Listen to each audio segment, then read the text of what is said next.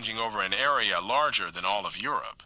The total number of slaves exported from East Africa during the 19th century has been estimated to be at least 2 million. Despite the impression created by Roots, during the era of the massive slave trade from West Africa, a white man was more likely to catch malaria in Africa than to catch slaves himself.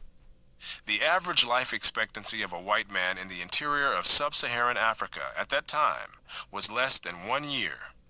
By and large, men from Europe or the Western Hemisphere came to the coasts of Africa, bought their slaves, and left as soon as possible.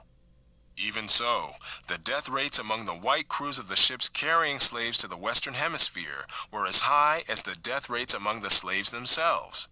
It was only much later, after quinine and other medical measures enabled Europeans to survive where there were tropical diseases, was it possible for them to invade Africa in force and establish empires there. But by then, the Atlantic slave trade had already been ended. During the era of that trade, Africa was largely ruled by Africans, who established the conditions under which slave sales took place. The crew of a slave ship was in no position to defy African rulers and their armies by going out across the land and capturing people willy-nilly. The stronger African peoples captured and enslaved the weaker peoples. The same pattern found over the centuries in Europe, Asia, the Western Hemisphere, and Polynesia.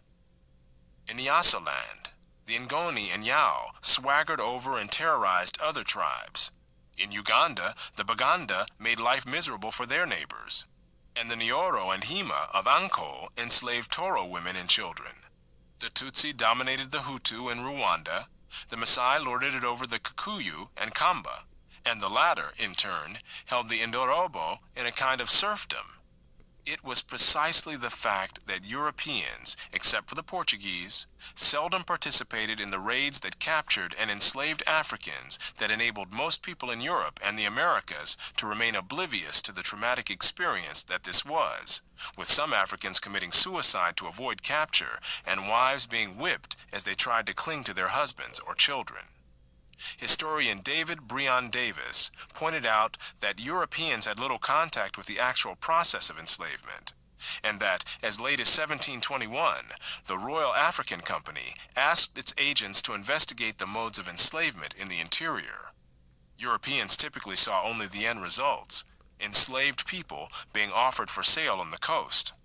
It was much the same story in the Ottoman Empire, where those who bought slaves had no idea what these slaves had been through before.